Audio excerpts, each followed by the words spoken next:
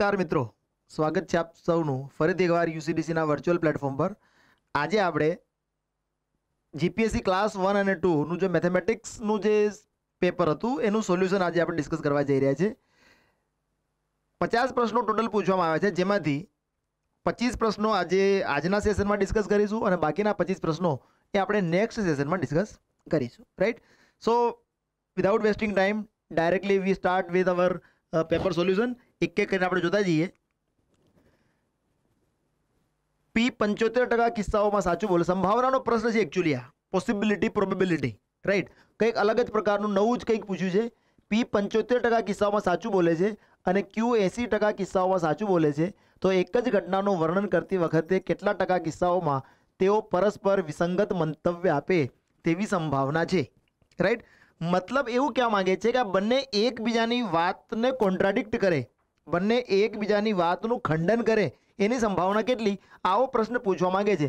જો લોજિક જોઈ લઈએ પી પંચોતેર ટકા સાચું બોલે છે અને ક્યુ એંસી ટકા સાચું બોલે છે, એનો મતલબ એવું નીકળે કે ક્યુની જે વીસ ટકા વાત છે, એનું જ ખંડન કરવું પડે. કેમ કે એંસી ટકા તો ક્યુ સાચું જ બોલે છે. એટલે ક્યુ જે ખોટું બોલતો હોય, એને આપણે કોન્ટ્રાડિક્ટ કરવું પડે. તો ક્યુની વીસ ટકા વાતનું ખંડન જ્યારે પી કરશે, તો પી પોતે પંચોતેર ટકા જ સત્ય બોલે છે. એટલે ક્યુની ખોટી વીસ ટકા વાતનું પંચોતેર ટકા જ ખંડન થશે, એનો મતલબ પંચોતેર ટકાના વીસ ટકા એટલે કે પંદર ટકા. રાઈટ ઓકે આ વાત થઈ ગઈ પીની. Now we will talk about Q Q એંસી ટકા સત્ય બોલે છે પી પંચોતેર ટકા સત્ય બોલે છે, એનો મતલબ કે પચીસ ટકા ખોટું બોલે છે. પચીસ ટકા ખોટું બોલે છે. તો પચીસ ટકા પીની ખોટી વાતનું ખંડન એ એંસી ટકા જ કરશે, કેમ કે પોતે પાછું એંસી ટકા સત્ય બોલે છે. તો એંસી ટકાના પચીસ ટકા પચીસ ટકા એટલે વન ફોર્થ એંસી ટકાનો ચોથો હિસ્સો એટલે વીસ ટકા. એનો મતલબ કે પી ક્યુની વાતનું ખંડન કરે એની પ્રોબેબિલિટી પંદર ટકા અને ક્યુ પીની વાતનું ખંડન કરે એની પ્રોબેબિલિટી વીસ ટકા. બંને એકબીજાની વાતનું ખંડન કરે. બંને એકબીજાઓ પરસ્પર કિસ્સામાં વિસંગત મંતવ્ય આપે એની સંભાવના થશે પાંત્રીસ ટકા. રાઈટ તો આસાન ક્વેશ્ચન હતો, બહુ હાઈફાઈ કેલ્ક્યુલેશન નથી, પણ થોડું લોજિક છે. Right let's move to the next question એક આઠ સેન્ટીમીટર લંબાઈના સમઘનની સામ સામેની સપાટીઓની ત્રણ જોડ લીલા વાદળી અને લાલ રંગથી એવી રીતે રંગવામાં આવી છે કે જેથી પ્રત્યેક જોડમાંની દરેક સપાટી સમાન રંગની હોય. હવે તે સમઘનને કાપીને નાના નાના એક સરખી બે સેન્ટીમીટર લંબાઈના સમઘનો બનાવવામાં આવે છે. તો જો એક તો આપણે વાત સમજી લેવાની કે સમઘનોની સંખ્યા માટે એક ફોર્મ્યુલા છે કે સમઘનોની સંખ્યા બરાબર capital N upon small N cube correct capital એનનો મતલબ થાય કેટલી બાજુનો સમઘન છે? તો અહીંયા આપણને ખબર છે આઠ સેન્ટીમીટરનો સમઘન છે. અને કેટલા કેટલામાં કાપવાના છે? બે બે સેન્ટીમીટરમાં કાપવાના છે. તો આ શું થશે? આઠ ભાગ્યા બે ચારનો ઘન. ચારનો ઘન બરાબર ચોસઠ નાના નાના સમઘનો બનશે. ચોસઠ નાના નાના સમઘનો બનશે. પણ આપણો પ્રશ્ન શું છે? ઓકે, જ્યારે ચોસઠ નાના સમઘન બને, મતલબ એન ક્યુબ બરાબર, હું લખી શકું છું ચારનો ક્યુબ. ક્લિયર બે બેના ચાર એ જ તૈયાર થાય. ચારનો ક્યુબ. તો એનની વેલ્યુ કેટલી થઈ ગઈ? એનની વેલ્યુ ચાર થઈ ગઈ. હવે આપણી પાસે અહીંયા ફોર્મ્યુલા છે. એકચ્યુઅલી હું ડાયરેક્ટલી અત્યારે તમને ફોર્મ્યુલા આપું છું. પણ જ્યારે આપણા સમઘનને બરાબર સમજીશું એ વખતે સમજાવીશ તમને. પણ અત્યારે જોઈ લઈએ કે મને પૂછવામાં આવે છે કે એક પણ સપાટી પર રંગ ના હોય, અહીંયા એકચ્યુઅલી ભૂલ છે. એક પણ સપાટી રંગવામાં ના આવી હોય એવા કેટલા સમઘન બને? તો તમે કોઈ સમઘનને બહારથી રંગી કાઢો, તો અંદર જે સમઘન છે, એમાં કલર એક પણ સરફેસ પર કલર નહીં હોય. તો એની ફોર્મ્યુલા છે N minus two cube this is the formula જ્યારે ક્યારે બી તમને એવું પૂછાય કે એક પણ બાજુ રંગેલી ના હોય, એવા સમઘન કેટલા? એન માઇનસ બેનો ઘન. એન કેટલા છે? ચાર. ચાર માઇનસ બેનો ઘન. મતલબ કે બેનો ઘન બરાબર આઠ. ક્લિયર મતલબ આઠ સમઘન એવા મળશે આપણને, જેમાં એક પણ બાજુ પર કલર નહીં હોય. અહીંયા ખાલી કરેક્શન છે. એક પણ બાજુ રંગવામાં ના આવી હોય એવા સમઘન આપણને પૂછે છે. તો the right answer is at correct okay હા રિઝનિંગનો ક્વેશ્ચન છે. આ છ સભ્યો P Q R S T અને યુનું બનેલું ત્રણ પેઢીઓ ધરાવતું કુટુંબ એક વર્તુળાકાર ટેબલ પર ભોજન જમવા માટે બેઠું છે. વોટ વી વિલ ડુ આપણે એક સર્કલ બનાવી લઈએ. કરેક્ટ અને છ સભ્યોને સામ સામે બેસાડી દીયા. વન આ ટુ આ થ્રી આ ફોર ફાઇવ અને આ સિક્સ. કરેક્ટ ઓકે હા. પી આર એસ અને ટી પુરુષ છે. પી ક્યુ અને યુ સ્ત્રીઓ છે. બે પિતા છે, બે માતા છે, ભાઈ બહેનની એક એક જોડ છે, સિબલિંગની, દંપતીઓમાંના પ્રત્યેક સભ્ય એકબીજાની સામે બેઠા છે, જે સ્ત્રીઓ માટે પણ લાગુ પડે છે. યુ એ ટીની પુત્રવધુ છે. તો અહીંયા સુધી કશું આપણાથી અરેન્જમેન્ટ સિટિંગ અરેન્જમેન્ટ થતી નથી. પણ અહીંથી આપણે ટ્રાય કરીએ. અહીંયા યુ એ ટીની પુત્રવધુ છે અને તે તેની ડાબી તરફ બીજા સ્થાને બેઠી છે. યુ બેઠી છે. યુ ટીની ડાબી બાજુ.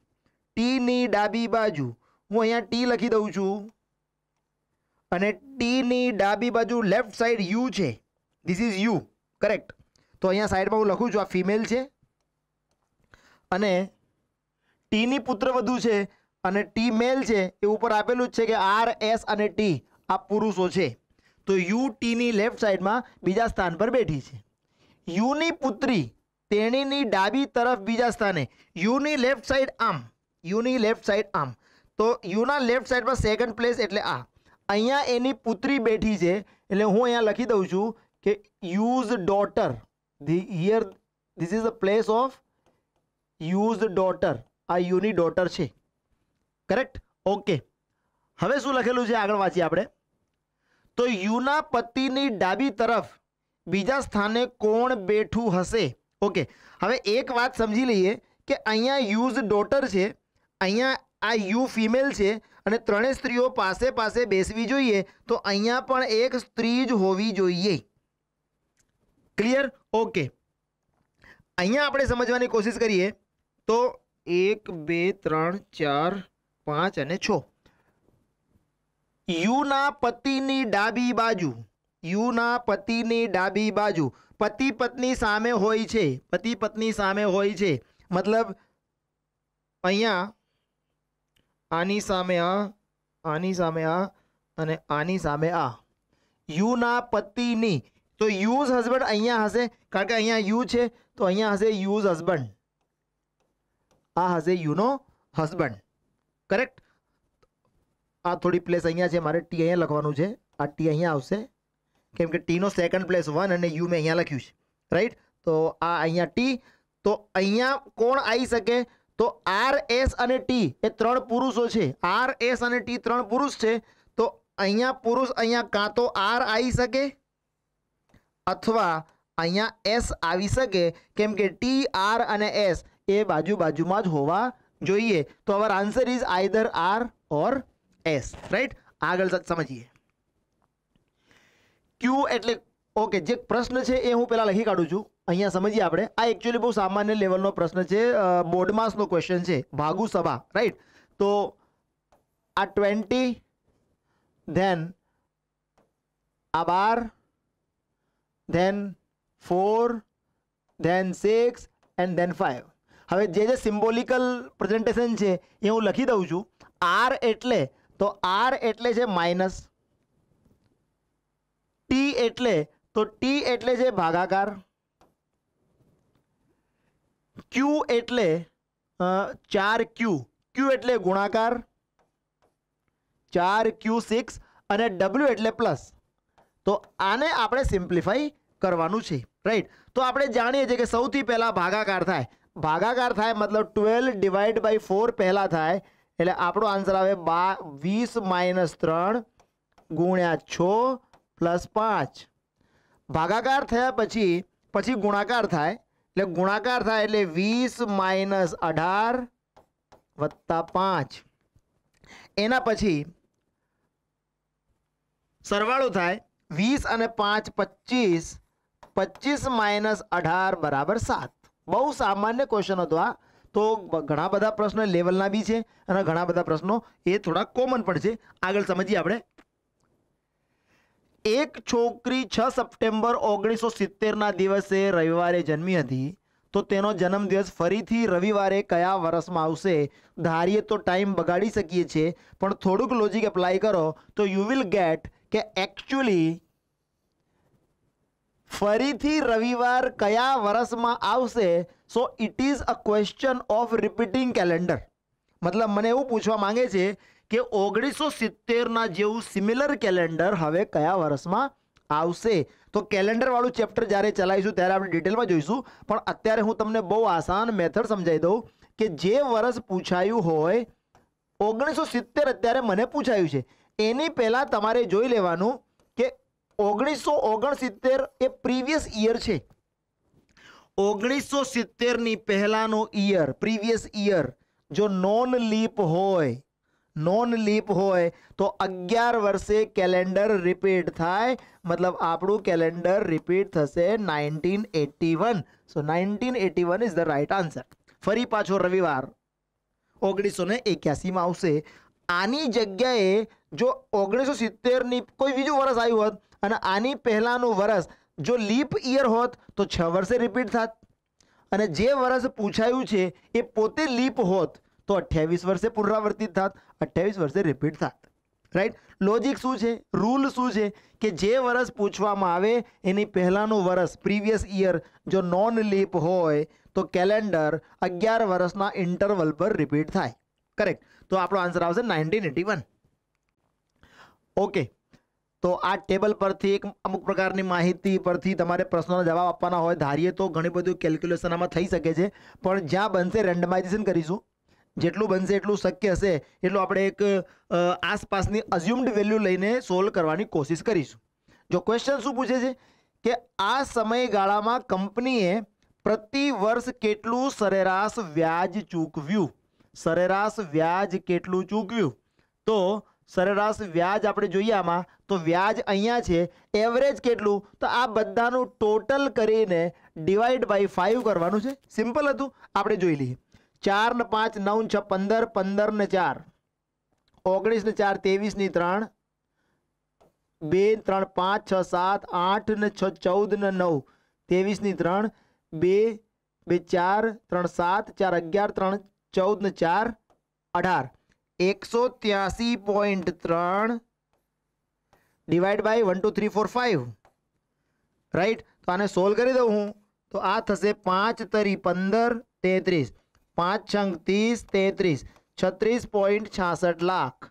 સિમ્પલ હતો, ખાલી એવરેજ કાઢવાની હતી. છત્રીસ પોઈન્ટ છાસઠ લાખ. આ બધાનું ટોટલ કરવાનું અને ડિવાઈડ બાય ફાઇવ રાઈટ? આગળ ચાલી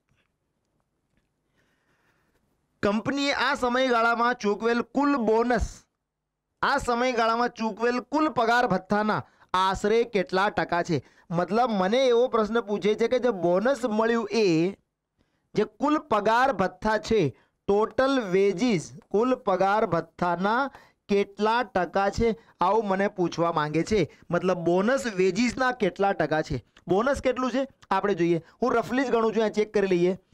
ત્રણ અને ત્રણ છ ને ચાર દસ દસ ને ચાર ચૌદ ને ત્રણ સત્તર. હું આને રેન્ડમલી હું સત્તર માની લઉં છું. બોનસ છે આપણું સત્તર લાખ.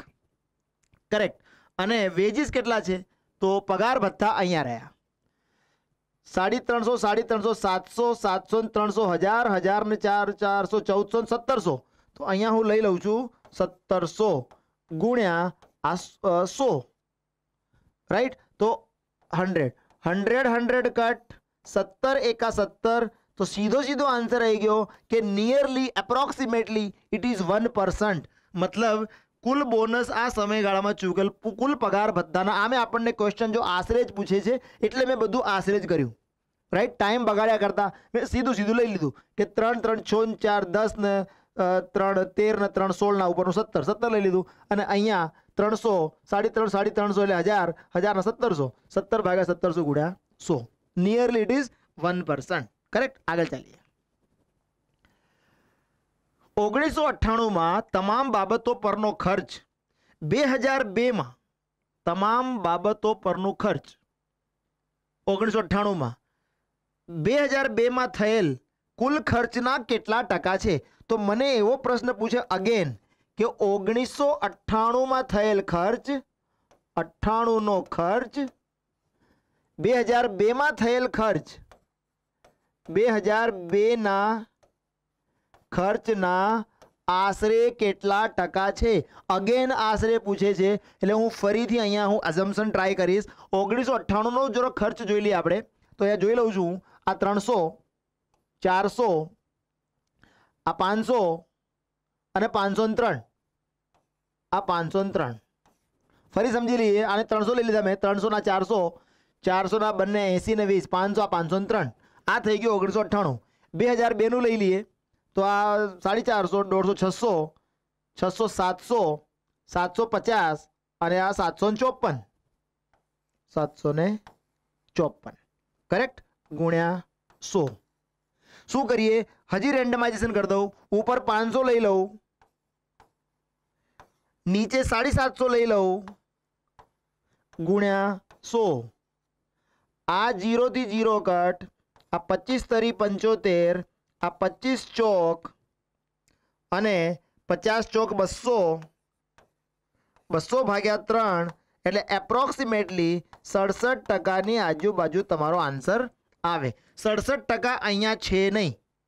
અને હજી અહીંયા આપણે સાતસો ચોપનની જગ્યાએ સાતસો પચાસ લીધું હતું મતલબ મેં છેદ ઘટાડ્યો તો, છેદ ઘટાડો તો આન્સર મોટો આવવો જોઈએ. મતલબ સડસઠની ઉપરનો આન્સર આવવો જોઈએ. એટલે કે ઓગણસિત્તેર ટકા એ આપણો રાઈટ આન્સર છે. રાઈટ કોઈ પણ પ્રકારની એક્સ્ટ્રા એફર્ટ કર્યા વગર જ્યારે મને આશરે પૂછે છે, તો જો મેં કેટલી સરળતાથી આશરે જ કામ કરી નાખ્યું. ક્લિયર આગળ ચાલીએ. બે હજારમાં કંપનીનો તમામ બાબતો પરનો કુલ ખર્ચ કેટલો? બે હજારનો ખર્ચ આપણને પૂછે છે, તો આપણે જો જોઈ લઈએ કે બહુ મોટો ગેપ છે કે નહીં, આપણે જોઈ લઈએ. બે હજાર, આ રહ્યું બે હજાર. ત્રણસો, ચારસો, બે હજારમાં કંપનીનો તમામ બાબતો પરનો ખર્ચ. ત્રણસો, ચારસો અને આ ચારસો સિત્તેર, આ પાંચસો ને દસ અને આ બે હજારમાં કંપનીનો તમામ બાબતો પરનો કુલ ખર્ચ કેટલો? ત્રણસો ને ચોવીસ, એકસો ને એક, એકતાલીસ પોઈન્ટ છ, ચુમ્મોતેર અને ત્રણ પોઈન્ટ ચોર્યાસી. આવું ટોટલ જ કરીને જોઈ લઈએ કેમ કે આ બે જવાબ બહુ નજીક નજીક છે, એટલે આપણે કરીને જોઈ લેવું પડશે આને. તો આ સાહીઠ આ થઈ ગયું ચાર, આઠ ને છ, ચૌદની એક પાંચ, છ, સાત ને ચાર. અગિયાર ને ત્રણ ચૌદની ચાર. આ એક, ત્રણ, ચાર. સાત ને સાત ચૌદની ચાર. એક, બે અને પાંચસો ચુમ્માલીસ પોઈન્ટ ચુમ્માલીસ લાખ. પાંચસો ચુમ્માલીસ પોઈન્ટ ચુમ્માલીસ લાખ. એ બે હજારમાં કંપનીનો તમામ બાબતોનો પરનો કુલ ખર્ચ થયેલો છે. હવે એક જો વાત સમજીએ, આ પાંચ પ્રશ્નો હતા જે ટેબલ પર આધારિત છે. મને લાગે છે કેસ માર્ક્સ છે જો થોડુંક પણ ધ્યાન રાખવામાં આવે તો આવા પ્રશ્નોમાં પાંચ પાંચ માર્ક બહુ આસાનીથી આવી જાય. કરેક્ટ આગળ ચાલીએ. તમામ વર્ષોમાં કરવેરા પર કરેલ કુલ ખર્ચ અને બળતણ અને પરિવહન પર કરેલ કુલ ખર્ચનો ગુણોત્તર આશરે કેટલો? આશરે જ પૂછે છે. એટલે આપણે અઝ્યુમ્ડ વેલ્યુની જ વાત કરીશું. ફરી સમજીએ. કરવેરા પર કરેલ કુલ ખર્ચ. કરવેરા પર કરેલ ખર્ચ આ રહ્યો. ચેક કરી લઈએ. જો કેટલું છે? જો આશરે જ લેવા માંગતા હોઈએ આપણે, તો સો, બસો, ત્રણસો, સો, બસો, ત્રણસો, ચારસો. અને આને બી હું સો જ લઈ લઉં તો પાંચસો થશે આમ તો. પાંચસો લઈને જોઈએ. આ પાંચસો થઈ ગયું? ઓકે. અને બળતણ અને પરિવહન પર, ચલો આને લઈ લઈએ. આ કેટલું થાય છે? સો, બસો, ત્રણસો, ચારસો અને આ પાંચસો. તમામ વર્ષોમાં કરવેરા પર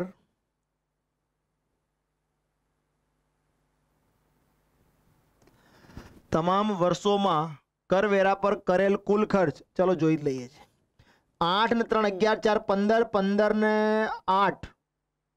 ત્રેવીસ ને આઠ એકત્રીસની એક, આ ત્રણ ત્રણ આઠ અગિયાર, સાત અઢાર ને આઠ, છવ્વીસ ને નવ, પાંત્રીસની પાંચ.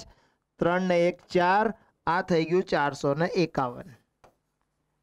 ઓકે. આ થઈ ગયું કરવેરા પર. હવે બળતણ અને પરિવહન પર. ચલો આને બી જોઈ લઈએ. આઠ, નવ, દસ, અગિયાર, ત્રણ, ચૌદ ને બે સોળની છ. આ એક. દસ, અગિયાર ને ત્રણ, ચૌદ ને ચાર, અઢારની આઠ. આ એક, બે, ત્રણ, ચાર ને પાંચ. મતલબ આ થઈ ગયું પાંચસો ને છ્યાસી. કરેક્ટ હવે આને મારે રિડ્યુસ કરવું હોય તો મારે શું કરવું પડશે? હું એક ટ્રાય કરું. કેમ કે બંનેને મારે સરખી સંખ્યાથી કાપવું હોય તો આને પાંચ કરી દઉં, આને ચારસો પચાસ કરી દઉં. તો આ કામ કદાચ આસાન થઈ જશે, આ ચારસો પચાસ. અને આને હું લઈ લઉં છું પાંચસો ને પંચ્યાસી. કારણ કે મને આશરે ગુણોત્તર પૂછે છે. રાઈટ હું પાંચથી આને કટ કરી દઉં. તો પાંચથી આને કટ કરી દો તો આ નેવું. અને આને પાંચથી કટ કરી દો તો આ વન વન સેવન. કરેક્ટ પાંચ એકા પાંચ, સત્તર પંચા પંચ્યાસી. આ બંનેને જો નવથી કટ કરી દઉં, તો નાઇન ટેન જા અને તેર નવા એકસો સત્તર. દસ જેમ તેર. દસ જેમ તેર. ક્લિયર તો કેલ્ક્યુલેશન ટફ નથી બનાવવાનું. કેલ્ક્યુલેશન આપણે બહુ આસાન બનાવવા માગીએ છીએ. કરેક્ટ આગળ ચાલીએ. હા ડેટા સફિશિયન્સીનો ક્વેશ્ચન છે આ. ડેટા સફિશિયન્સી માહિતી પર્યાપ્તતા. આમ તો મોટાભાઈ આ ચેપ્ટરમાંથી ત્રણ ત્રણ ચાર ચાર પ્રશ્નો પૂછાતા હોય છે, પણ આ વખતે એક જ પ્રશ્ન પૂછ્યો છે. કશો વાંધો નથી. પ્રશ્ન શું કહેવા માગે આપણે સમજીએ. મને પ્રશ્ન પૂછે એક્સનું મૂલ્ય કેટલું છે? એક્સનું મૂલ્ય મારે નથી આપવાનું. એક્સનું મૂલ્ય આપવા માટે મારે ડેટા કેટલા જોઈએ? કેટલી માહિતીની જરૂર પડે? જો બહુ આસાનીથી હું તમને સમજાવવાની કોશિશ કરું છું, બરાબર સમજી લઈએ. બહુ મહેનત નથી કરવાની. આ ઇક્વેશનમાં ઝેડની વેલ્યુ મારી પાસે છે. ઝેડની વેલ્યુ મારી પાસે છે. કરેક્ટ તો અહીંયા હું ઝેડની વેલ્યુ મૂકી દઉં અને અહીંયા હું વાયની વેલ્યુ મૂકી દઉં તો મને એક્સની વેલ્યુ મળી જશે. મતલબ હું એમ કહી શકું છું કે ઝેડની વેલ્યુ પરથી તો નહીં કામ થાય વાયની વેલ્યુ પણ જોઈશે. વાયની ક્યાંથી લાવીશું? સેકન્ડ ડેટામાં તમે જુઓ. રૂટ બસો પચીસ એટલે સમવોટ પંદર. માઇનસ રૂટ એકસો સોળ એ પરફેક્ટ સ્ક્વેર નથી, પણ હું આને સમજી લો કે એકસો એકવીસનું વર્ગમૂળ આવે અગિયાર રાઈટ તો દસની નીચે દસ પોઈન્ટ સમથિંગ આનો જવાબ આવવો જોઈએ. તો કુલ મિલાઈને હું એમ કહેવા માગું છું કે સેકન્ડ ડેટામાંથી વાયની વેલ્યુ તો મળી જ જશે. મળી જશે. સેકન્ડમાંથી વાયની વેલ્યુ મળી જાય. ફર્સ્ટમાં ઝેડની વેલ્યુ તો છે જ. કુલ મિલાઈને મને વન એન્ડ ટુ પરથી મને એક્સનું મૂલ્ય મળી જશે. ક્લિયર તો એક તો વાત થઈ ગઈ વન એન્ડ ટુ અહીંયા છે one and two one and three okay વનમાં તો ઝેડની વેલ્યુ છે જ. હવે મારે એક્સનું મૂલ્ય શોધવા માટે બીજું મારે સાનું મૂલ્ય જોઈએ. તો બીજું મારે મૂલ્ય જોઈએ વાયનું તો અહીંયા તમે જુઓ, આ એક ઇક્વેશન અને આ એક ઇક્વેશન વન એન્ડ થ્રી બંનેનો ઉપયોગ કરો. તો આ બંનેનો ઉપયોગ કરવાથી લોપની રીતથી તમે વાયની વેલ્યુ ફાઇન્ડ કરી શકશો અને ઝેડની તમારી પાસે છે જ. એટલે તમને એક્સની વેલ્યુ પણ મળી જશે. તો આપણે શું કહી શકીએ છીએ? કે એક્સનું મૂલ્ય શોધવા માટે one and two both are sufficient either one and three both are sufficient તો આપણો આન્સર શું હશે? એક અને બે પણ ચાલે અથવા એક અને ત્રણ પણ પર્યાપ્ત છે. ક્લિયર આન્સર કી સાથે બરાબર આપણે અને એને આપણે ચેક કરીએ છીએ કે આન્સર કી પ્રમાણે આપણા જે સોલ્યુશન છે. એ એકદમ ક્લિયર કટ મેચ થાય, કેમ કે ગણિત સિદ્ધાંતો પર આધારિત છે. રાઈટ જ્યારે આપણે સોલ્વ કરીએ, ત્યારે વી વિલ ફાઇન્ડ કે એકદમ એના આન્સર સચોટ છે. રાઈટ આગળ ચાલીએ. એંસી સેન્ટીમીટર વ્યાસના એક પાણીથી અંશતઃ ભરાયેલા નળાકારમાં ત્રીસ સેન્ટીમીટર ત્રિજ્યાનો એક ગોળો નાખવાથી પાણીનું સ્તર એક્સ સેન્ટીમીટર જેટલું વધે છે, તો એક્સનું મૂલ્ય કેટલું હશે? જો આપણે સમજવાની કોશિશ કરીએ કે આ એક નળાકાર હોય આપણી પાસે, આ એક નળાકાર છે, કેટલું પાણીથી ભરેલું છે આઈ ડોન્ટ નો મને ખબર નથી કે આ પાણીથી કેટલું ભરેલું છે, મને નહીં ખબર. પણ ક્વેશ્ચનમાં શું કહે છે કે આમાં તમે જો એક ગોળો નાખશો, આ પાણીનું લેવલ આ ઉપર આવશે. પાણીનું લેવલ ઉપર આવશે. આપણને શું પ્રશ્ન પૂછે છે કે એક્સ સેન્ટીમીટર ઉપર આવે છે, તો એક્સ સેન્ટીમીટર એટલે શું? મતલબ કુલ મિલાઈને એમ પૂછવા માંગે છે કે કેટલું ઉપર આવશે? તો આપણા જે કન્સેપ્ટ છે એવું કહે છે કે આ ગોળાનું જેટલું ઘનફળ હશે, એટલું જ પ્રવાહી ઉપર આવશે. તો હું એક અહીંયા શું એક એક સ્ટેટમેન્ટ લખી શકું છું કે ગોળાનું ઘનફળ બરાબર, બહુ આસાનીથી હું લખી દઈશ. ગોળાનું ઘનફળ બરાબર શું? તો જેટલું ગોળાનું ઘનફળ હશે, એટલું જ પ્રવાહી ઉપર આવશે. એટલે એટલું નળાકારમાં સમાયેલ પાણીનું ઘનફળ, મતલબ કે નળાકારનું ઘનફળ, આ હું લખી શકું છું. ગોળાનું ઘનફળ મને ખબર છે, four upon three pi R ઘન. અને નળાકારનું ઘનફળ મને ખબર છે, પાઈ આર સ્ક્વેર એચ. આ મને ખબર છે. પાઈ પાઈ કટ કરી દઈએ. Pi pi cut. Correct okay. તો અહીંયા હું લખું છું ફોર બાય થ્રી ગોળાની ત્રિજ્યા કેટલી? તો ગોળાની ત્રિજ્યા છે ત્રીસ સેન્ટીમીટર ત્રિજ્યાનો ગોળો. એટલે અહીંયા હું લખું છું ત્રીસ ગુણ્યા ત્રીસ ગુણ્યા ત્રીસ. આ આર એટલે શું? આર એટલે નળાકારની ત્રિજ્યા. નળાકારની ત્રિજ્યા કેટલી છે? એંસી સેન્ટીમીટર વ્યાસ છે. એટલે ચાલીસ ગુણ્યા ચાલીસ. અને આ એચ એટલે શું? કેટલી હાઈટ પ્રાપ્ત થઈ? કેટલી હાઈટ પ્રાપ્ત થઈ? એક્સ જેટલી હાઈટ પ્રાપ્ત થઈ? As per the question correct solve કરીએ આને. જો સમજી સમજીએ આને બરાબર. આ ત્રણથી આને કટ કરી દો. એટલે દસ. આ ચાર ગુણ્યા દસ ચાલીસ. આ ચાલીસથી ચાલીસ કટ કરી દઉં રાઈટ તો હવે આ જીરોથી જીરો કટ કરી દઉં તો શું થઈ ગયું? નેવું બરાબર ચાર એક્સ તો એક્સ બરાબર શું? નેવું ભાગ્યા ચાર. નેવું ભાગ્યા ચાર એટલે બાવીસ પોઈન્ટ પાંચ સેન્ટીમીટર. એક સિમ્પલ સ્ટેટમેન્ટ પરથી ક્વેશ્ચન સોલ્વ થાય. એમ હતું ખાલી એક નાનકડું લોજિક આપણી પાસે હોવું જોઈએ. અને બધા લોજિક આપણે શેર કરીશું. હજી આ ચેપ્ટર ચાલવાના બાકી છે. આ જ્યારે જોમેટ્રી ચાલશે, આ બધું જ્યારે ચાલશે ત્યારે આપણે બધા જ લોજિક્સ ડિસ્કસ કરીશું. કશું જ નહીં રહી જાય. એક્ઝામમાં તમને એવું લાગશે કે બધું આપણે જે સમજ્યા છીએ જે વાંચ્યું છે અને ભણ્યા છીએ, એમાંથી જ પ્રશ્નો પૂછાય. રાઈટ આગળ ચાલીએ. એક પાત્રમાં બે પ્રવાહી એમ અને એન છે. જો બરાબર સમજાવું ટાઈમ નથી બગાડવા માંગતો. એક એક સેકન્ડના ક્વેશ્ચન છે. ધારીએ તો કલાકો બી જઈ શકે છે, પણ આપણો એ એમ નથી. મને શું કહેવા માગે છે કે એક પ્રવાહી છે એમ અને એનનું એક મિક્સચર છે, જેમાં સાત જેમ પાંચના પ્રમાણમાં છે, સાત જેમ પાંચના પ્રમાણમાં છે. કરેક્ટ હું શું કહી શકું કે ટોટલ મિક્સચર કેટલું છે મને ખબર નથી. રાઈટ વિદ્યાર્થીઓ સાતેક્સ ધારી લે પાંચેક્સ ધારી લે ક્વેશ્ચનને ખરાબ કરી દે. પણ મને એક વાત સમજવાની કોશિશ કરવાની છે. આપણે બરાબર સમજી લેવાનું. મને પૂછે છે કે શરૂઆતમાં એમ કેટલા લીટર હતું? એમ કેટલા લીટર હતું? તમે અહીંથી મને કહી શકશો કે શરૂઆતમાં એક્સ સાત લીટર હતું. એક્સ સાત લીટર હોય, મતલબ સાતના મલ્ટિપલમાં જ હોય, સાતનો મલ્ટિપલ એક જ છે અહીંયા. Right so twenty one is the right answer okay ઘણા વિદ્યાર્થી એમ કહી શકે છે કે અઠ્યાવીસ હોય તો. સાતનું મલ્ટિપલ અઠ્યાવીસ પણ થાય, પાંત્રીસ બી થાય, બેતાલીસ બી થાય, તો ઉપરોક્ત પૈકી કોઈ નહીં, એ હોઈ શકે તો. તો તમે ક્રોસ વેરીફાઈ કરી લો ને, આપણે ક્રોસ વેરીફાઈ કરી લઈએ કે એકવીસ લીટર મિક્સચર હતું. એકવીસ લીટર મિક્સચર હતું, તો એકવીસ લીટર મિક્સચર હોય, તો જો અહીંયા આપણે સમજી લઈએ કે કેટલું થાય આ એકવીસ લીટર મિક્સચરમાં સાત એમ એકવીસ હોય, તો પછી આ એમ અને એન અહીંયા લખું છું, આ ખાલી ક્રોસ વેરીફાઈ કરવા માટે, જો કોઈને ડાઉટ જાય તો. એમ એકવીસ હોય, મતલબ સાત તરી એકવીસ, તો એન કેટલું થાય? પાંચ તરી પંદર. ક્લિયર મતલબ ટોટલ મિક્સચર મારું કેટલું હતું? છત્રીસ લીટરનું હતું, એકવીસ લીટર એમ હતું અને પંદર લીટર એન હતું. હવે શું કહે છે કે નવ લીટર પ્રવાહી કાઢી લઈએ તો?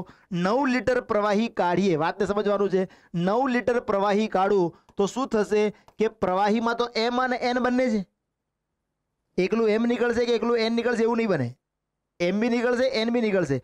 તો એમ કેટલું નીકળશે? નવ લીટર કાઢો તો એમનો ભાગ કેટલું? સાત છેદમાં બાર. મતલબ ત્રણ તરી અને ત્રણ ચોક, સાત તરી એકવીસ. અહીંથી એકવીસ ભાગ્યા ચાર, આ તો નીકળી જશે તમારું એમ. એન કેટલું નીકળી જશે? એન નીકળી જશે નવ લીટરમાં એન કેટલું? પાંચ ભાગ્યા બાર. મતલબ ત્રણ ચોક અને ત્રણ તરી પંદર ભાગ્યા ચાર. આટલું તો નીકળી જશે તમારું એન. અને પાછું શું કહે છે કે તેટલું જ એન નાખી દેવાનું? એટલે તમે શું કર્યું? પાછું નવ લીટર એન નાખી દીધું. કરેક્ટ આને જ્યારે સોલ્વ કરશો so your ratio will become સાત છેદમાં નવ. તમે ઘરે સોલ્વ કરજો અને મેં સોલ્વ કર્યું છે. It is correct it is true so we don't want to waste the time આ તમારો આન્સર આવી જશે. કરેક્ટ તો તમારો રાઈટ આન્સર છે આનો, કે એમ પ્રારંભમાં કેટલું હતું? એમ પ્રારંભમાં એકવીસ લીટર હતું. હા. રિઝનિંગનો અગેન ક્વેશ્ચન છે આ. પીળો, લીલો અને લાલ રંગના ત્રણ દડા, એક, બે અને ત્રણ નંબર આપેલી ત્રણ પેટીમાં not necessarily the same order મૂકવામાં આવેલ છે. ત્રણ મિત્રો જે કે અને એલ પૈકી દરેક ગોઠવણી બે વિધાન આપે છે, જેમાંથી એક સાચું અને ખોટું છે. તેમના વિધાનો આ મુજબ છે. તો અહીંયા મારે એક કોમ્બિનેશનની જરૂર પડશે. જો હું કોમ્બિનેશન બનાવું, કયા કયા કોમ્બિનેશન બનશે? હું અહીંયા બનાવી દઉં છું. આ પેટી એક આ પેટી બે અને આ પેટી ત્રણ. તો એમાં લાલ, લીલો અને પીળા રંગના દડા પડ્યા છે. તો આમાં લાલ હોય, આમાં લીલો હોય, તો આમાં પીળો હોય. એક તો બનશે આ કોમ્બિનેશન બીજું કોમ્બિનેશન કયું બનશે? આમાં લાલ હોય, તો આમાં પીળો હોય, આમાં પીળો અને આમાં લીલો.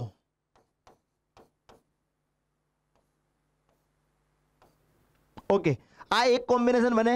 જો એક નંબરમાં લીલો હોય, તો બીજામાં આઈધર યલો અને લીલો પીળો અને અહીંયા હશે લાલ. અગેન જો અહીંયા હું લીલો લઈ લઉં, તો અહીંયા આવશે લાલ અને અહીંયા આવશે પીળો. લાલ, લીલો. હવે, પેટી વનમાં જો હું પીળો દડો લઈ લઉં, તો અહીંયા આવશે લાલ, અહીંયા આવશે લીલો. અને અહીંયા જો હું પીળો દડો લઈ લઉં, તો અહીંયા આવશે લીલો અને અહીંયા આવશે લાલ. કુલ આટલા કોમ્બિનેશન મને મળશે. હવે મારે જોવાનું છે કે મને કયું કોમ્બિનેશન આપ્યું છે, આપણે ચેક કરીએ. આ જે ત્રણ વ્યક્તિ અલગ અલગ વિધાન આપે છે આમાંથી એક વિધાન કરેક્ટ છે, એક વિધાન ખોટું છે એ કોમ્બિનેશન મારે લેવાનું છે. પહેલું જ વિધાન જોઈએ કે પીળો દડો પેટી બેમાં નથી. હા, તો પીળો દડો પેટી બેમાં નથી. ત્રણમાં છે, મતલબ આ કરેક્ટ કે છે. લાલ દડો પેટી એકમાં છે. લાલ દડો પેટી એકમાં છે. આ બી કરેક્ટ છે. તો બે કરેક્ટ તો ના હોવા જોઈએ ને? શું ક્વેશ્ચનમાં લખે છે કે એક વિધાન સાચું છે એક વિધાન ખોટું છે. જો હું આ કોમ્બિનેશન લેવા જાઉં, તો આ કોમ્બિનેશનમાં શું થાય છે કે પીળો દડો પેટી બેમાં નથી, પીળો દડો ત્રણ નંબરની પેટીમાં છે. મતલબ કે બેમાં નથી ઇટ ઇઝ કરેક્ટ લાલ દડો પેટી એકમાં છે, લાલ દડો પેટી એકમાં છે. આ કરેક્ટ છે. જે ના હોવું જોઈએ, એક કરેક્ટ હોવું જોઈએ, એક ઇનકરેક્ટ હોવું જોઈએ, તો આ કોમ્બિનેશનને હું ડિલીટ કરું છું. This combination is not valid it is not allowed right બીજું કોમ્બિનેશન ચેક કરીએ. પીળો દડો પેટી બેમાં નથી. પીળો દડો પેટી બેમાં નથી. પેટી બેમાં છે. મતલબ કે આ ખોટું છે આ. ધીસ ઇઝ ફોલ્સ આ ખોટું છે. લાલ દડો પેટી એકમાં છે. યસ આ કરેક્ટ છે. તો આ ફિટ બેસે છે. એક સાચું, એક ખોટું. બીજું જોઈએ. હવે કે શું કહે છે? પીળો દડો પેટી ત્રણમાં નથી. પીળો દડો પેટી ત્રણમાં નથી. બેમાં છે. આ કરેક્ટ કે છે? લીલો દડો પેટી બેમાં છે. લીલો પેટી બેમાં નથી, ત્રણમાં છે. મતલબ કે આ ખોટું કે છે. થઈ ગયું એક ખોટું, એક સાચું? Okay now we will talk about the L લીલો દડો પેટી ત્રણમાં છે. લીલો દડો પેટી ત્રણમાં છે. સાચું બોલે છે. લાલ દડો પેટી એકમાં નથી. લાલ પેટી એકમાં છે. ખોટું બોલે છે. I think you might have got right એક કરેક્ટ એક ઇનકરેક્ટ તો આ ત્રણેય જણા પોતપોતાની જગ્યા ઉપર એક વિધાન સાચું બોલે છે, એક વિધાન ખોટું બોલે છે. તો એને જોતા આ બધું જ કેન્સલ કરવું પડે. Only one combination is allowed that is this હવે આપણે પ્રશ્નોના જવાબ આપી દઈએ. પેટી એકમાં, આ જોઈ જોઈને લખવાનું, પેટી એકમાં લાલ દડો છે. પેટી એકમાં લાલ દડો છે. આગળ જોઈએ. પીળો દડો ચેક કરીએ. પીળો, આ કોમ્બિનેશન અલાઉડ નહોતું. પીળો શામાં છે? પીળો બેમાં છે. પીળો પેટી બેમાં છે. ત્રીજો ક્વેશ્ચન જોઈએ. જો આપણે કે દ્વારા આપેલું બીજું વિધાન અવગણીએ, કે દ્વારા આપેલું આ બીજું વિધાન અવગણી નાખવાનું અને પહેલું વિધાન સાચું માનવાનું, તો બાકીનો શરતોનું પાલન કરતા એક વાત સમજવાનું છે, બહુ ડિટેલમાં નથી જવાનું. બાકીની બધી શરતોનું પાલન કરવું હોય, આપણે અહીંયા પાછળ બધી શરતોનું પાલન કરી રહ્યા અને આપણને શું મળ્યું? There were there was only one combination correct and this is એક જ કોમ્બિનેશન કરેક્ટ મળ્યું હતું મને. હવે મને આ પ્રશ્ન પૂછે છે કે કેટલી ગોઠવણી શક્ય બનશે? એક જ ગોઠવણી શક્ય બનશે? મતલબ ઉપરોક્ત પૈકી કોઈ નહીં. કરેક્ટ આગળ સમજીએ. આ એવા પ્રકારના પ્રશ્નો પૂછવામાં આવ્યા છે કે જે એકચ્યુઅલી આમ જોવા જાઓ તો આપણે આના પર બહુ ભાર આપ્યું નથી. કેમ કે કન્ક્લુઝન એન્ડ સ્ટેટમેન્ટ વિધાન અને નિષ્કર્ષ ટાઈપના પ્રશ્નો પૂછશે. આજ સુધી નથી પૂછ્યા. ધીસ ઇઝ ફર્સ્ટ ટાઈમ બે હજાર ચૌદમાં પૂછાયા હતા. કરેક્ટ એના પછી સીધા સાત વર્ષ પછી. બે હજાર એકવીસમાં પૂછાયા છે. બહુ મોટો ગેપ છે. એટલે આને ઘણા સમજી નહીં શક્યા હોય, પણ આપણે સમજી લઈએ છીએ કે આમાં એક સ્ટેટમેન્ટ તમને આપેલું છે. આ રહ્યું તમારું સ્ટેટમેન્ટ અને આ સ્ટેટમેન્ટના આધારે તમારી પાસે બે કન્ક્લુઝન છે, બે નિષ્કર્ષ છે. તમે કયા નિષ્કર્ષ કાઢી શકો છો, એના પરથી આપણે આન્સર લખવાનો છે. જો એક નંબરનો નિષ્કર્ષ નીકળે તો એ જવાબ આપવાનો છે. બે નંબરનો નિષ્કર્ષ નીકળે તો બે જવાબ, બી જવાબ આપવાનો છે. જો તારણ એક અને બે બંને અનુસરતા હોય, બંને ફોલો કરતા હોય, તો આન્સર સી થવો જોઈએ અને એક અને બે બંને ફોલો ના કરતા હોય, તો આન્સર આપણો ડી થવો જોઈએ. રાઈટ જો સમજીએ, સુધારક, સુધાર, સુધારક મતલબ ટ્રાન્સફો જે સુધારક, સુધારવા માંગતો હોય ટ્રાન્સફોર્મર કહી શકીએ આપણે, જે સોસાયટીને ટ્રાન્સફોર્મ કરવા માંગતો હોય, સુધારકને જેમને જૂની વ્યવસ્થાથી લાભ થતો હોય, તેઓમાં દુશ્મનો મળે છે. અને જેમની નવી વ્યવસ્થાથી લાભ થાય છે, તેમાં ઓછા ઉત્સાહવાળા સંરક્ષકો સંરક્ષકો મળે છે. પહેલાં તો સ્ટેટમેન્ટ સમજીએ કે સુધારકને, જેમને જૂની વ્યવસ્થાથી લાભ થાય છે, તેઓમાં દુશ્મન મળે, બિલકુલ કરેક્ટ વાત છે. જે વ્યક્તિ સુધારક હોય, સુધારો કરવા માંગતો હોય, એમાં થશે શું? કે જૂની વ્યવસ્થાથી જેને લાભ થાય છે, એ તમને સુધારવા નહીં દે. અને તોય તમે સુધારો કરવા માંગશો, તો ત્યાં તમને દુશ્મનો મળશે. ક્લિયર છે? અને નવી વ્યવસ્થાથી જે લાભ થાય છે, તમે નવી વ્યવસ્થા લાવવા માંગો છો, તો તેમાં શું થશે કે જે જૂના લોકો છે, ઉત્સાહ નહીં બતાવે. એ લોકોનો ઉત્સાહ ઘટી જશે, કેમ કે એ નથી ઈચ્છતા કે નવો સુધારો કરવામાં આવે. ક્લિયર આ એનો મતલબ છે. હવે આપણે એનો નિષ્કર્ષ, મેં તમને નિષ્કર્ષ બતાવી દીધું. હવે આપણે આ આન્સરમાં જોઈએ. જેમને જૂની વ્યવસ્થાથી ફાયદો થાય છે, તેઓ સુધારકના શત્રુઓ છે. યસ ઇટ ઇઝ કરેક્ટ સાચી વાત છે, હમણાં હાલ જ મેં કીધું કે સુધારક જે વ્યવસ્થા સુધારવા માંગે છે, પણ જૂની વ્યવસ્થાથી જેને લાભ થાય છે, એ નહીં સુધારવા દે, એટલે દુશ્મનો ઊભા થઈ જાય. મતલબ કે જૂની વ્યવસ્થાથી જેમને ફાયદો થાય છે, એ સુધારકના શત્રુઓ છે. આ કન્ક્લુઝન હું કાઢી શકું છું. So this one is correct okay જેમની નવી વ્યવસ્થાથી ફાયદો થાય છે, તેઓ સુધારકના શત્રુઓ નથી, એવું હું નહીં નિષ્કર્ષ કાઢી શકું. મેં નિષ્કર્ષ શું કાઢ્યો કે જે લોકોને નવી વ્યવસ્થાથી ફાયદો થાય છે, એ લોકો શું કરશે? જે લોકો નવી વ્યવસ્થા ઈચ્છતા નથી, એ લોકો થોડો ઇન્ટરેસ્ટ ઓછો બતાવશે, ઉત્સાહ ઓછો થઈ જશે. એને એવો મતલબ નહીં નીકળતો કે તેઓ સુધારકના શત્રુઓ નથી. હોઈ પણ શકે છે. ના પણ હોઈ શકે. મતલબ આ કન્ક્લુઝન હું નહીં તારવી શકું. So our answer is A only follow conclusion one follows correct આગળ ચાલીએ. સંસદ સંદર્ભે રાષ્ટ્રપતિએ બંધારણ હેઠળ કેટલાક બીજા કાર્યો કરવાના હોય છે. એગ્રી સ્ટેટમેન્ટ આપણે સમજીએ છીએ કે રાષ્ટ્રપતિને સંસદ સંદર્ભ સિવાય બી ઘણા બધા કામ કરવાના હોય છે. એ કરેક્ટ છે. હવે જ્યારે આનું કન્ક્લુઝન કાઢવાનું આવે, તો શું હું એવો કન્ક્લુઝન કાઢી દઉં કે રાષ્ટ્રપતિ સંસદના મોટા ભાગના કાર્યો કરે છે? આ નીકળે કન્ક્લુઝન આ નહીં નીકળે. સ્ટેટમેન્ટ શું છે? કે રાષ્ટ્રપતિને સંસદ સિવાયના પણ કામ કરવાના હોય છે. મતલબ હું એવો કન્ક્લુઝન કાઢી શકું કે સંસદના તો કામ કરે જ છે, એના સિવાય બી ઘણા બધા કામ એને કરવાના હોય છે. આવો કન્ક્લુઝન હું ના કાઢી શકું કે સંસદના મોટા ભાગના કાર્યો રાષ્ટ્રપતિ જ કરે છે. This conclusion can not be drawn so this is false okay રાષ્ટ્રપતિ માત્ર સંસદના સંદર્ભમાં જ કાર્યો કરે છે? ના. આ બી આપણે, આને બી આપણે ઇમ્પ્લિસિટ ના કહી શકીએ. મતલબ કે both the conclusions do not implicit do not follow બંને અનુસરતા નથી. મતલબ આપણો આન્સર હશે ડી ડી બંને તારણ, એક કે તારણ બે કોઈ પણ વિધાનને અનુસરતા નથી. આગળ ચાલીએ. પ્રાચીન વસ્તુઓ એક પ્રદર્શનમાં મૂકવામાં આવે છે. સામાન્ય માણસને તે ખરીદવા માટે ઘણી વધારે મોંઘી કિંમત એની હોય છે. પ્રાચીન વસ્તુઓને એન્ટિક પ્રોડક્ટ જે હોય, એને એક્ઝિબિશનમાં મૂકવામાં આવે છે. સામાન્ય માણસ માટે તે ઘણી વધારે મોંઘી હોય છે. આ છે આપણું સ્ટેટમેન્ટ તો સામાન્ય માણસ પ્રાચીન વસ્તુઓ ખરીદતા જ નથી. આવું કન્ક્લુઝન નીકળે? નહીં નીકળી શકે ને? નહીં નીકળી શકે. જો વાતને સમજવાની વિધાન શું કહે છે? કે જે પ્રાચીન વસ્તુઓ પ્રદર્શનમાં મૂકવામાં આવે છે અને એ સામાન્ય નાગરિક માટે એ મોંઘી પડે છે. તો એનો એવો થોડી મતલબ છે કે સામાન્ય માણસ પ્રાચીન વસ્તુઓ ખરીદતો જ નથી. મોંઘી પડે છે એગ્રી હોઈ શકે કે ઓછા લોકો ખરીદે. પણ ખરીદતા જ નથી. આ કન્ક્લુઝન નહીં નીકળી શકે. So this conclusion does not follow પ્રદર્શનમાં મૂકેલ વસ્તુઓ હંમેશા કિંમતી હોય છે. આ પણ જરૂર નથી. આપણું સ્ટેટમેન્ટ જુઓ. પ્રાચીન વસ્તુઓ પ્રદર્શનમાં મૂકવામાં આવે છે.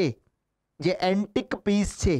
બધી પ્રાચીન વસ્તુઓ મોંઘી જ હોય એ પણ જરૂરી નથી. મતલબ આ સ્ટેટમેન્ટ પણ જે આપણું સ્ટેટમેન્ટ છે, એને આ કન્ક્લુઝન પણ ફોલો કરતું નથી. So our answer is D neither one neither conclusion one nor conclusion two follows the statement આગળ સમજીએ. તાજેતરમાં વિદેશની ધરતી પર ક્રિકેટ ટીમના પ્રદર્શનમાં સુધારો થયો છે. તાજેતરમાં વિદેશની ધરતી પર ક્રિકેટ ટીમના પ્રદર્શનમાં સુધારો થયો છે. આ સ્ટેટમેન્ટ છે. હું આનો નિષ્કર્ષ કાઢું. અગાઉની ટીમનો વિદેશમાં રમતી વખતે ટીમો કુશળ નહોતી, આ કહી શકું હું? હમણાં હમણાં નવી ટીમો સારો દેખાવ કરવા લાગી છે. એનો એવો મતલબ કાઢી લઈએ કે જૂની ટીમોનો દેખાવ બરાબર નહોતો. હોઈ શકે કે એ વખતે કંઈક ફેક્ટર જુદા હોય, દેખાવ સારું ના કરી શક્યા હોય, મતલબ હું આ ફો કન્ક્લુઝન કાઢી નહીં શકું. વિદેશમાં મેચ જીતવી મુશ્કેલ હોય છે. તેમ છતાં વિદેશની ધરતી પર ક્રિકેટ ટીમના પ્રદર્શનમાં સુધારો થયો છે. સુધારો થયો છે એનો મતલબ એવો કે અમે અમારા સ્કિલમાં સુધારો કર્યો છે. એકચ્યુઅલી અઘરું હોય છે. વિદેશની ધરતી પર મેચ જીતવી અઘરી હોય છે, ગ્રાઉન્ડ બદલાઈ જાય છે. You are not aware about the ground about the system અઘરું હોય છે. પણ તેમ છતાં પ્રદર્શનમાં સુધારો તો થયો છે. કરેક્ટ મતલબ આ કન્ક્લુઝન આ સ્ટેટમેન્ટને ફોલો કરે છે. So only B B will be our answer right તો જો આ એવા પ્રશ્નો હતા કે જે એકચ્યુઅલી તમે ધ્યાનથી જો તો આપણા સિલેબસમાં ક્યાંય નજરે પડેવા નથી. તો એમ છતાં પાંચ પ્રશ્નો પૂછવામાં આવ્યા છે. હજી મને યાદ છે એક અંદર એક પેલો દલીલવાળો પ્રશ્ન પણ છે. આર્ગ્યુમેન્ટવાળો એ પણ આપણા સિલેબસમાં ક્યાંય નજરે પડતું નથી. પણ તમને એમ લાગશે કે તો પછી સિલેબસની બહારથી પ્રશ્નો પૂછાયા? ના.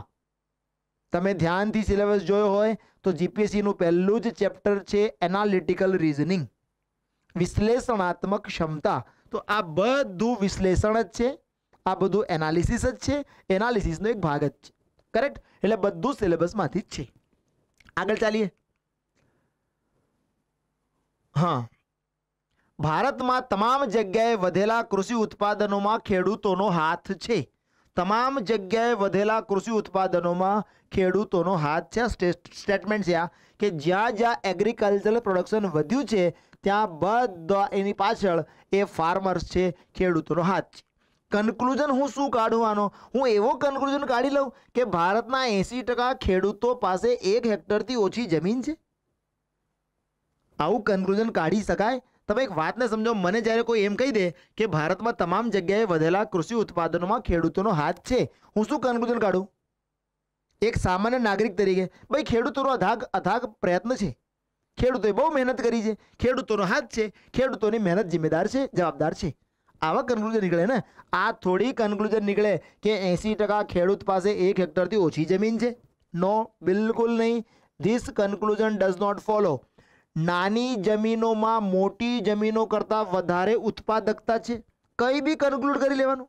નેવર ફરી તમને કહું છું કે જ્યારે મને કોઈ વ્યક્તિ આવું સ્ટેટમેન્ટ આપી દે કે ભારતમાં જે એગ્રીકલ્ચરલ પ્રોડક્શન વધ્યું છે, એમાં ખેડૂતોનો હાથ છે, તો તરત હું કન્ક્લુડ કરીશ કે આમાં ખેડૂતની મહેનત જવાબદાર છે. આ મારો નિષ્કર્ષ હશે. મારો નિષ્કર્ષ આવો નહીં હોય કે એંસી ટકા ખેડૂત પાસે એક હેક્ટરથી ઓછી જમીન છે નાની જમીનોમાં, મોટી જમીનો કરતાં વધારે ઉત્પાદકતા છે. આવા નિષ્કર્ષ હું નહીં કાઢી શકું. મતલબ નાયદર વન નોર ટુ એટલે કે ડી એક પણ તારણ આને ફોલો કરતું નથી. કરેક્ટ આગળ ચાલીએ. એક્સ અને વાયની હાલની ઉંમરનો ગુણોત્તર બહુ આસાન ક્વેશ્ચન હતો. હું તમને સમજાવી દઉં અહીંયા. આ એક્સ અને આ વાય આ બંનેની ઉંમરનો ગુણોત્તર કેટલો આપેલો છે? બે જેમ ત્રણ. રાઈટ જ્યારે આપણે ઉંમર સંબંધિત પ્રશ્નોની ચર્ચા કરીશું, એ વખતે ડિટેલમાં એક એક પેટર્નની ચર્ચા કરીશું. અત્યારે હાલ પૂરતો જ્યારે સોલ્યુશન કરી રહ્યા છીએ, આપણે આ પેટર્નને ડિસ્કસ કરી લઈએ છીએ. બે જેમ ત્રણ, આ છે પ્રેઝન્ટ એજ હાલની ઉંમર પ્રેઝન્ટ એજ રાઈટ પાંચ વર્ષ પછી, પાંચ વર્ષ પછી, પાંચ વર્ષ પછી આ રેશિયો કેટલો થઈ જશે? પાંચ વર્ષ પછી આ રેશિયો થઈ જશે સાત જેમ દસનો થઈ જશે. વાતને સમજવાની કે એક્સની ઉંમર બેથી સાત થઈ એટલે પાંચ રેશિયો વધી, આ ત્રણથી દસ થઈ એટલે સાત રેશિયો વધી, અહીંયા પાંચનો વધારો, ત્યાં સાતનો વધારો અનઇવન છે, આને ઇવન કરીએ. કેવી રીતે કરવાનું? તો બંનેને એકબીજાના ડિફરન્સથી ગુણવાનું. દસ અને સાતનો ડિફરન્સ કેટલો? ત્રણ. આને ત્રણથી ગુણો. ત્રણ અને બેનો ડિફરન્સ કેટલો? એક. આને એકથી ગુણો. So new ratio will be what new ratio બની જશે. આ થશે ત્રણ દુ છ અને ત્રણ તરી નવ. અને આ થશે એક સિત્યુ સાત અને એક વન ટેન જા ટેન. હવે તમે જુઓ કે અહીંયા આ નવથી દસ એકનો ગેપ છે, છથી સાત એકનો ગેપ છે. તો એક એક્સની વેલ્યુ કેટલી થાય? એક એક્સની વેલ્યુ થાય પાંચ વર્ષ. કેમ કે પાંચ વર્ષ પછી આ જીરો વત્તા પાંચ, જીરો વત્તા પાંચ એટલે પાંચ વર્ષ પછી, એટલે એક એક્સની વેલ્યુ પાંચ થાય, સમજીએ, તો આ તો થઈ ગઈ એક્સની ઉંમર કેટલી? પાંચ છંગ ત્રીસ અને વાયની કેટલી? પાંચ નવા પિસ્તાલીસ. એક્સની કેટલી ત્રીસ? વાયની પિસ્તાલીસ. એક્સની ત્રીસ હોય તો પંદર વર્ષ પછી એક્સની પિસ્તાલીસ થાય અને વાયની જો પિસ્તાલીસ હોય તો પંદર વર્ષ પછી એની સાહીઠ થાય તો રેશિયો કેટલો થઈ ગયો? પંદરથી કટ કરી દઈએ. પંદર તરી પિસ્તાલીસ, પંદર ચોક સાહીઠ, ત્રણ જેમ ચાર. ત્રણ જેમ ચાર. કરેક્ટ તો બહુ સામાન્ય સામાન્ય ક્વેશ્ચન પણ હતા. અને કેટલાક લેવલના પ્રશ્નો બી હતા. એટલે જીપીએસસીએ બહુ બેલેન્સ્ડ ઇક્વલાઇઝડ પેપર કાઢ્યું છે. એનો આપણને અહીંથી અંદાજ આવે છે. પણ આપણી મહેનત ઘટવી ના જોઈએ. તમે આ જુઓ. મધ્યક મધ્યસ્થવાળું આપણે ચેપ્ટર ચલાવ્યું હતું. એમાંથી બહુ સામાન્ય લાગતા એવા ચેપ્ટરમાંથી બી થોડો સારો પ્રશ્ન કાઢીને મૂક્યું સમજીએ આપણે. એસથી શરૂ થતા સતત આવતા પાંચ પૂર્ણાંકોનો મધ્યક એ છે. જો હું સમજાવી દઉં એસથી શરૂ કરું તો પહેલો પૂર્ણાંક એસ આવે, બીજું એસ પ્લસ વન આવે, ત્રીજું એસ પ્લસ ટુ આવે, ચોથું એસ પ્લસ થ્રી આવે અને પાંચમું એસ પ્લસ ફોર આવે. ક્લિયર છે? ઓકે આ ક્લિયર થઈ ગયું. પાંચ સતત આવતા પૂર્ણાંકોનો મધ્યક શું? તો પાંચ સતત આવતા પૂર્ણાંકોનો મધ્યક છે એ મતલબ એસ પ્લસ ટુની વેલ્યુ થાય છે એ ક્લિયર આગળ ચાલીએ. એસ પ્લસ ટુથી શરૂ થતા.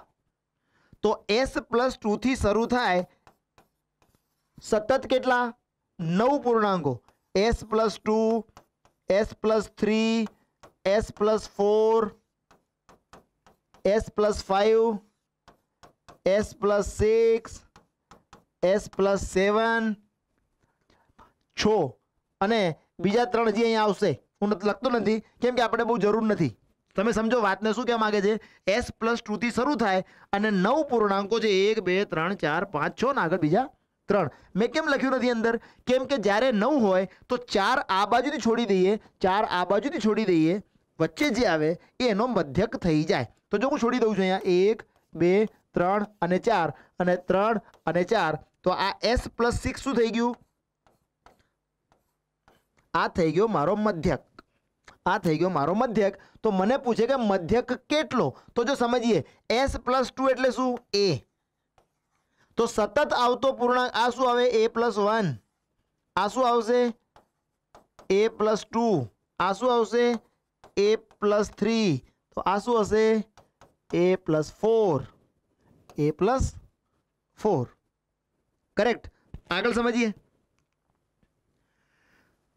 રમેશે તેની કંપનીના પાંચ ઉપપ્રમુખોના માસિક પગારનું વિશ્લેષણ કર્યું. બધા પગારના આંકડા પૂર્ણાંક લાખમાં છે. પગારના આંકડાનો મધ્યક અને મધ્યસ્થ પાંચ લાખ છે. તેનો એકમાત્ર બહુલક આઠ લાખ છે. આપેલા વિકલ્પો પૈકી કયો વિકલ્પ મહત્તમ અને લઘુત્તમ પગારનો સરવાળો દર્શાવે છે? જો તમે મધ્યક અને મધ્યસ્થનો વીડિયો જોયો હોય, તો આપણા વિડીયોમાં આ પ્રશ્નને આપણે જીપીસીની પહેલાં જ ડિસ્કસ કરી ચૂક્યા છીએ. Exactly similar question same to same ખાલી આપણે આ રમેશ શબ્દનો પ્રયોગ નહોતો કર્યો અને અહીંયા આપણે ઉપપ્રમુખની જગ્યાએ પાંચ વાઇસ પ્રેસિડેન્ટ લખેલું છે. બાકી સિમિલર ક્વેશ્ચન છે સેમ ટુ સેમ કોઈ વેલ્યુ બદલવામાં નથી આવી. આપણે ખાલી આને ડિસ્કસ કરી લઈએ. શું કહેવા માંગે છે? પાંચ વાઇસ પ્રેસિડેન્ટ છે. એક, બે, ત્રણ, ચાર અને પાંચ. કરેક્ટ તો મધ્યક અને મધ્યસ્થ પાંચ લાખ છે. મતલબ મધ્યક, મધ્યસ્થ બંને સેન્ટરમાં હોય. તો વચ્ચે પાંચ લાખ લખી દીધું મેં. એક માત્ર બહુલક આઠ લાખ છે. હવે મધ્યસ્થ પાંચ હોય તો આંકડાઓ કાં તો ચડતા ક્રમમાં, કાં તો ઉતરતા ક્રમમાં હોવા જોઈએ. મતલબ કે અહીંયા આઠ લખવું પડે અહીંયા આઠ લખવું પડે. કેમ કે બહુલકનો મતલબ થાય છે જે વારંવાર પુનરાવર્તિત થતા હોય. તો કમસે કમ આઠને બે વાર તો રિપીટ કરું. તો આ થઈ ગયું આઠ આઠ અને પાંચ. હા still I have two spaces two slots to fill હજી આપણી પાસે બે સ્લોટ ભરવાના છે. પણ જો શું લખે છે? કે મધ્યક પાંચ લાખ છે, મધ્યક પાંચ લાખ છે એવરેજ પાંચ લાખ છે. મતલબ દરેક પ્રેસિડેન્ટની દરેક ઉપપ્રમુખની સેલરી પાંચ લાખ છે, ઉપપ્રમુખ પાંચ છે. તો પાંચ ગુણ્યા પાંચ. પચીસ લાખ સેલરી થવો જોઈએ. પચીસ લાખમાંથી જુઓ, આઠ આઠ, સોળ ને પાંચ, એકવીસ. એકવીસ લાખ તો થઈ ગયા. હવે અહીંયા મારે આ બંને જગ્યાઓને ભરીને મારે ચાર લાખ ભરવાના છે. ચાર લાખ ભરવાના છે. ચાર લાખ માટે હું શું કરી શકું? અહીંયા બે બે લખી દઉં. ચાર થઈ જાય. પણ બે બે હું નહીં લખી શકું. કેમ કે પછી બે બહુલક થઈ જાય. એક, બે અને એક, આઠ. પણ ડેટા શું કહે છે? કે બહુલક તો એક જ છે. એટલે હું બેને બે વાર નહીં લખી શકું? ઓકે. હવે મારી પાસે શું ઓપ્શન છે? હવે મારી પાસે ઓપ્શન છે એક અને ત્રણ. એક અને ત્રણ. તો હું અહીંયા એક લખીશ, અહીંયા ત્રણ લખીશ, અહીંયા ત્રણ, અહીંયા એક નહીં લખી શકું, કેમ કે ઇન્ક્રીઝિંગ ઓર્ડરમાં લખવાનું હોય છે. તો અહીંયા એક અને અહીંયા ત્રણ. હવે ઘણા વિદ્યાર્થીઓ students are very very intelligent અહીંયા ઘણા લાગે દોઢ લાખ, અહીં લાગે અઢી લાખ. લખી શકે? મારે તો ટોટલ ચાર લાખ જ કરવાનું છે. તો અહીંયા દોઢ, અહીંયા અઢી લખી શકે છે. પેપર સેટર તમારા કરતાં બી આગળ એક સ્ટેપ આગળ ચાલે છે. એટલે એણે તમે જુઓ, અહીંયા એક ડિટેલ લખી છે કે પગારના આંકડા પૂર્ણાંક લાખમાં છે, અપૂર્ણાંક લાખમાં નથી. આ દોઢ લાખ ને અઢી લાખ ના બધું નહીં લેવાનું. એક લાખ, બે લાખ, ત્રણ લાખ એવી રીતે લેવાના. પેપર સેટર તમારાથી એક સ્ટેપ આગળ ચાલે છે. Right so I have now do not I do not have now any option except one and three so the minimum salary is one lakh and the maximum salary is eight lakh અને બંનેનો સરવાળો થાય નવ લાખ. જો તમે video જોઈને ગયા હોત તો નવ લાખ તો સોલ્વ કર્યા વગર એમને લખી જ દેવાનો હતો. ચોપન સેકન્ડ બચે. ચોપન સેકન્ડમાં બીજા ઘણા બધા પ્રશ્નો થઈ શકે. મતલબ કુલ મિલાઈને શું કહેવા માગીએ છીએ? કે મહેનત કોઈની બેગાડ જતી નથી. આગળ સમજીએ. એબીસીમાં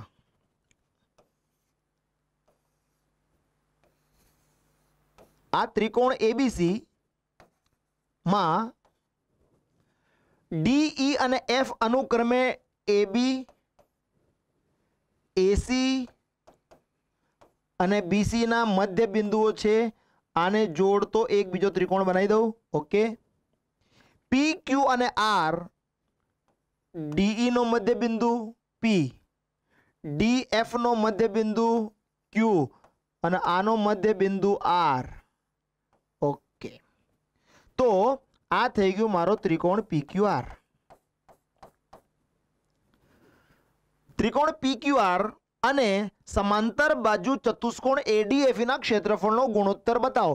મતલબ મને પૂછે છે કે એરિયા ઓફ ટ્રાયંગલ પીક્યુઆર અને એરિયા ઓફ ચતુષ્કોણ પેરાલોગ્રામ એડીએફઈ જો સમજીએ આપણે, શું કહેવા માંગીએ છીએ આપણે? આ આખું જે ડીઈએફ છે ને, એ આખા ડીઈએફમાં પીક્યુઆર જેટલા ચાર ત્રિકોણ બને. One two three and four મતલબ હું શું લખી શકું છું? હું એમ લખી શકું કે PQR નું ક્ષેત્રફળ એટલે કેટલું? One fourth of DEF DEF લખી શકાય. PQR નું ક્ષેત્રફળ DEF નો ચોથા ભાગનો છે. રાઈટ તો અહીંયા હું લખી દઉં છું કે PQR નું ક્ષેત્રફળ one by four DEF okay હવે એડીએફઈ જો ધ્યાનથી જોઈએ, આ ADFE એડીએફ અને E. એડીએફ અને ઈ રાઈટ તો એડીએફઈ એ, એમાં ડીઈએફ જેટલા કેટલા ટ્રાયંગલ આવે? બે. તો હું શું લખી શકું છું અહીંયા? ટુ ડીઈએફ લખી શકાય? બિલકુલ લખી શકાય. Two DEF DEF DEF cut આ બે ઉપર જોતો રહે. એક જેમ આઠ. So our answer will be one is to eight one is to eight clear okay આગળ ચાલીએ. સમદ્વિબાજુ ત્રિકોણ એ બીઈ નું ક્ષેત્રફળ બોતેર ચોરસ સેન્ટીમીટર છે. બીઈ બરાબર એબી એબી બરાબર ટુ એડી એઈ સમાંતર ડીસી આ એઈ અને આ ડીસી સમાંતર છે આવું આપણને આપેલું છે. તો સમલંબ ચતુષ્કોણ એબીસીડી નું ક્ષેત્રફળ જણાવો. સમલંબ ચતુષ્કોણનું ક્ષેત્રફળ છે વન અપોન ટુ ગુણ્યા ઊંચાઈ